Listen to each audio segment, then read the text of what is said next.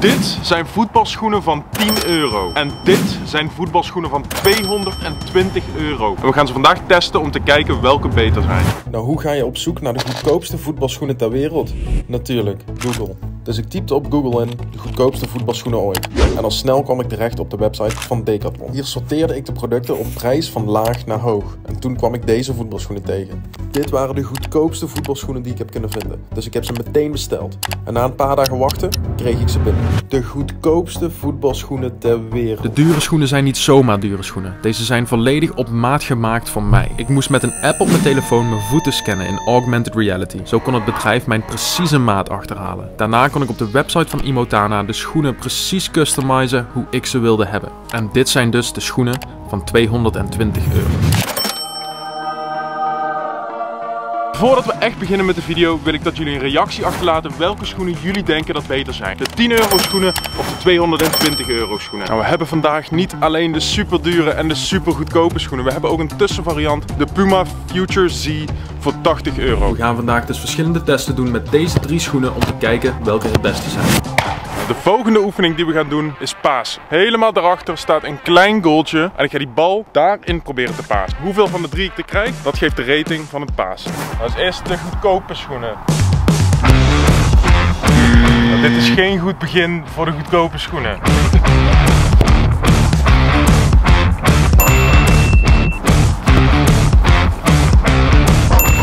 Op zich niet slecht, maar het gevoel in deze schoenen is wat minder.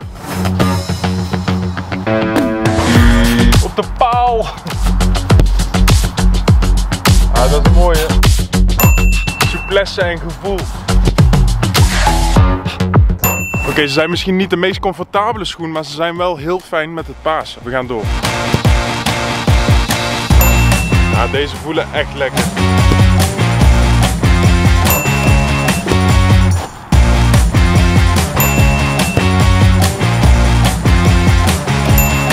Deze voelen echt heel lekker. Dit zijn echt topschoenen. Hey, wat we nu gaan doen is sprintsnelheid. Dus we gaan van de 5 meter hier helemaal naar de andere kant hier rennen. En kijken met welke schoenen ik het snelste ben. Als eerste de goedkoopste schoenen. En deze zijn echt heel comfortabel. Dus ik denk dat ik hier het snelste mee ben.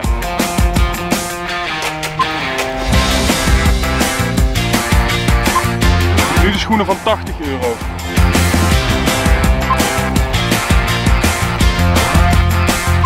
Nu de dure schoenen.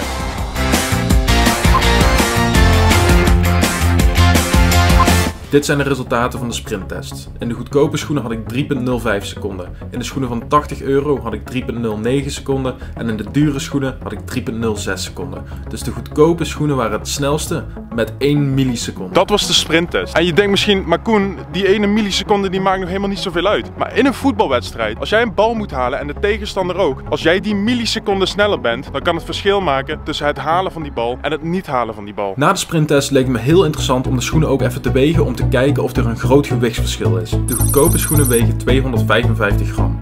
De schoenen van 80 euro wegen 288 gram en de dure schoenen wegen 270 gram. Volgende oefening die we gaan doen, doeltrappen. Nu gaan we dus kijken of de schoenen verschil maken in hoe ver ik kan uittrappen als keeper. Als eerste doen we weer de goedkope schoenen.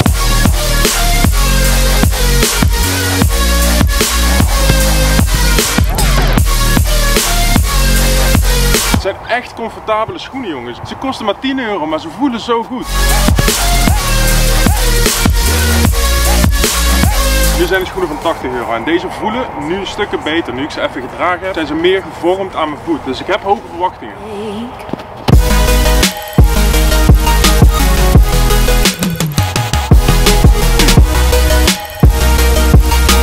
Dat was meer een directe trap, maar dat is ook goed hè.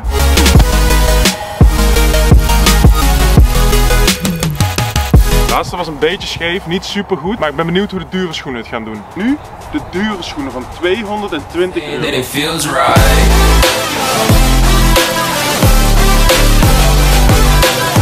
Oh, ze voelen echt heel lekker. Het is echt een hele verre trap.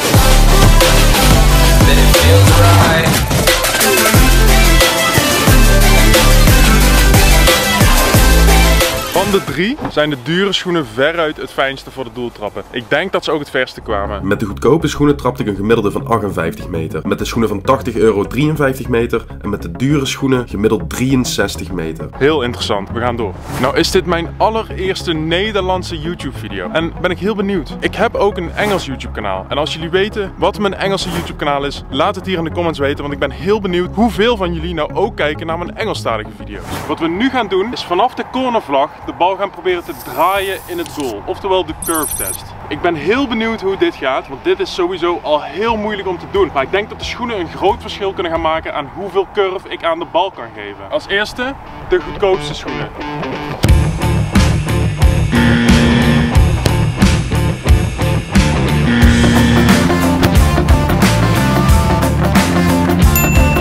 Nu de schoenen van 80 euro.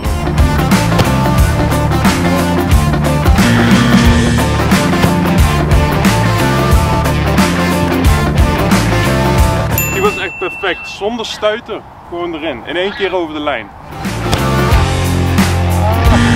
Nu de dure schoenen.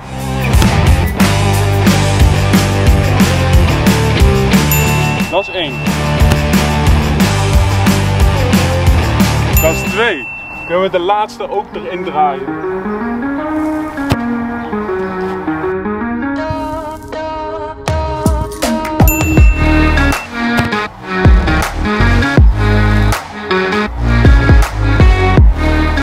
Dat is drie. Drie van de drie.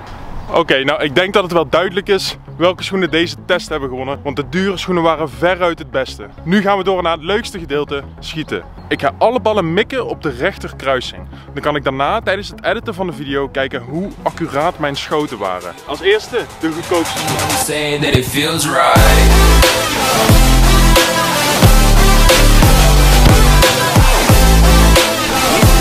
Zeggen, deze goedkope schoenen voelen wel echt heel lekker hè. Ik weet niet wat het is.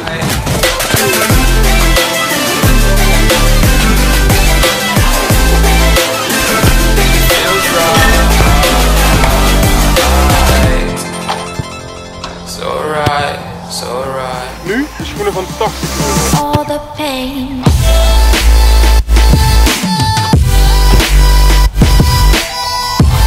Die was echt heel mooi.